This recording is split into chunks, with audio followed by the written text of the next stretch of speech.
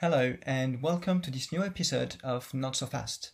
Um, in this video what we are going to discuss is the concept of reversibility in physics and the idea that the laws of physics would be reversible as it is often claimed in popularization videos and books.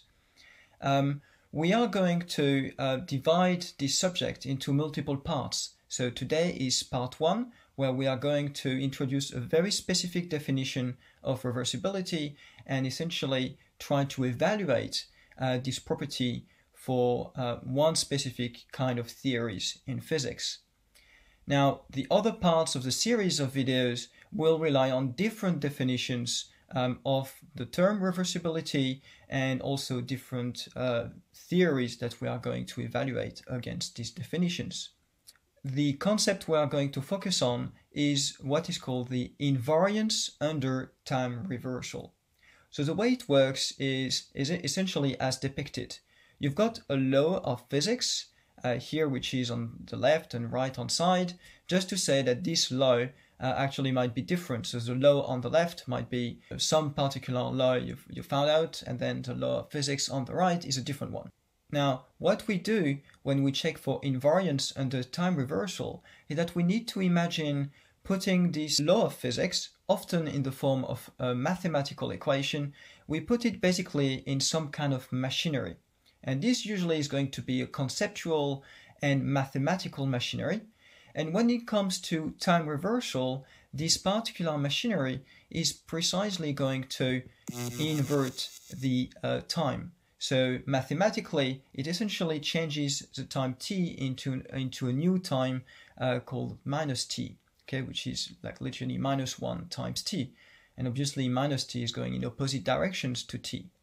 Now, once we, once we have operated this transformation on the equation, then we check what the equations look like now. So on the one hand, if the law of physics is still the very same that you started with, then it is said to be time reversible.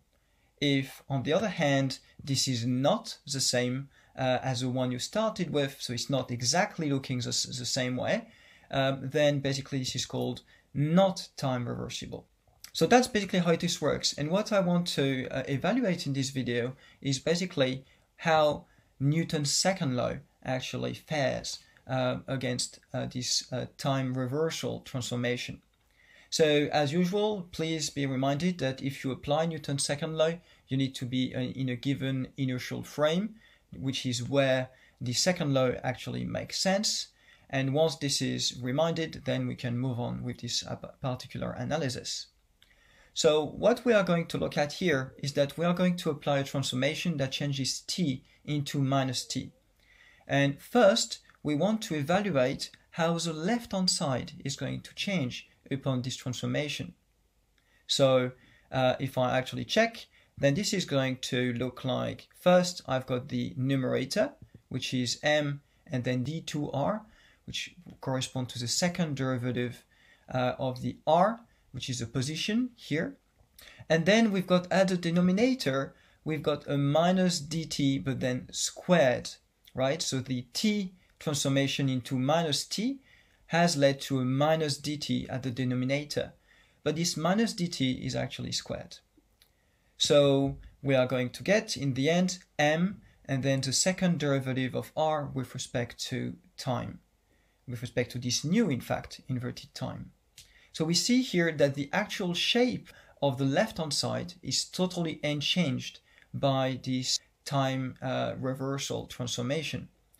Now, obviously, for Newton's second law to be time reversible, we need to have also the right-hand side to be exactly the same. So let's have a look at then the right-hand side for specific cases.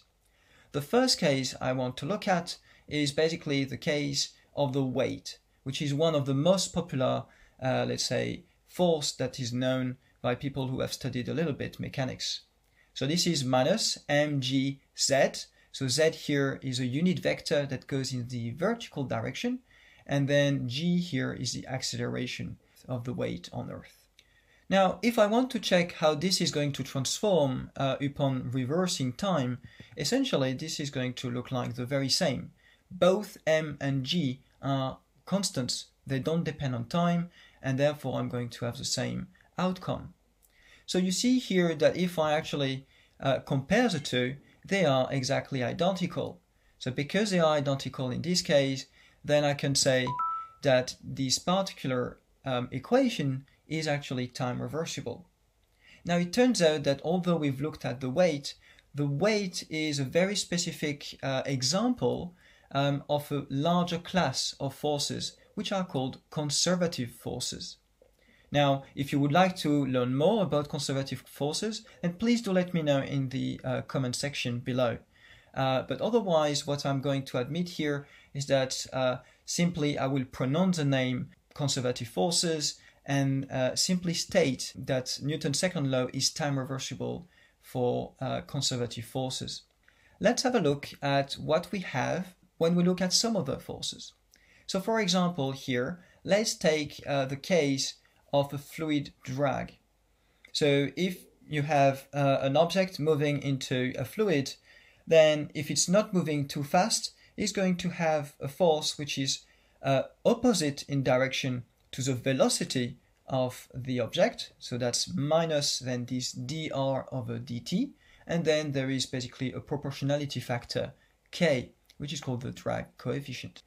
Now, uh, if I check how this is going to change upon inverting t, I actually get that this is minus k and then dr over minus dt. So if I try then to match these two things, then I get basically that uh, they don't match because there is a sign difference. So in the end, I've got that this particular equation is not time reversible. In fact, uh, fluid drag belongs to a class of forces uh, which are called non-conservative. And it turns out that um, Newton's second law is not time reversible for non-conservative forces. So what we have seen here is that if we look at Newton's second law, which is one uh, of the most fundamental laws of classical mechanics, then we end up having uh, some forces for which uh, Newton's second law is going to be time reversible, and some of the forces for which is, is not going to be time reversible. Okay? Now, what I would like to, uh, to do is basically look at a final uh, case uh, which is quite specific, you will see. So now what, what I would like to do is to look at uh, a specific case, which is the case of a magnetic force. So here you've got Q, the charge, uh, the charge of some particle or object, then times the velocity, and then this is a cross product uh, with the magnetic field B, which is exerted uh, on the particle. And I want to see how this thing is going to change upon time reversal. And it turns out that this is not as easy as it looks. So why is it so? Well, it turns out that there are two different cases which are um, discriminated in the literature.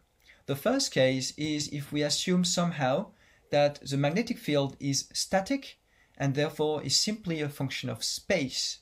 Then in that case you're going to have that this is q times dr over minus dt and then cross product with b. Now, there is another scenario to consider, which is uh, the source-dependent magnetic field. Now, in this view, the idea is that a magnetic field actually does not come from nowhere, but emerges from uh, an electrical current in particular. And what that means is that if we um, invert time, then uh, the current is going to go in the opposite direction, and so will the magnetic field as well.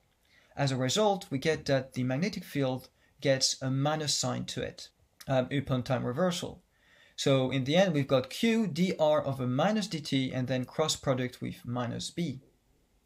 Now, obviously, you see that in the case where you then put all the minus signs together, you get on the left-hand side that this is the very same expression you started with.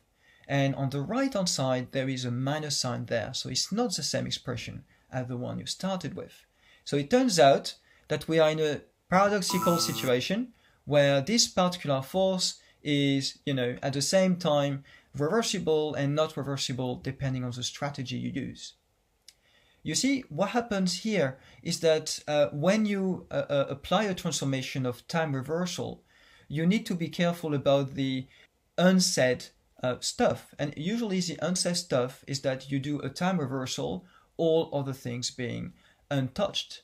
Now, depending on what you decide to touch, let's say, or untouch, then essentially you are going to affect the outcome of this particular reasoning. In fact, this has been discussed in a recent paper by philosopher Valia Allori, in which she actually discusses these particular ideas that depending on the philosophical position that one adopts, then you end up uh, essentially having a different outcome for the time reversal invariance uh, of the equations of motion. So what do we get from this? Well, first of all, we have seen a very specific definition of reversibility uh, in the name of invariance of equations upon time reversal. Now, we've seen as well that when it comes to Newton's second law, uh, which is one of the most fundamental laws of classical physics, then it's actually um, reversible in this sense, but only for a class of uh, forces which are called conservative forces. If forces are non-conservative, then usually that's not the case and the equation of motion are not reversible. Now we also saw a very interesting case, which is that of electromagnetic forces.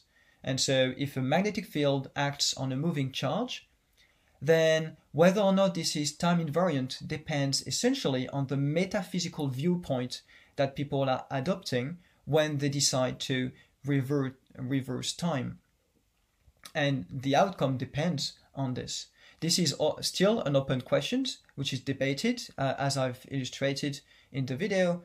And that's kind of what it is. And that's what science is about. It's precisely discussing these things and see what we need to actually accept to get a, a particular outcome.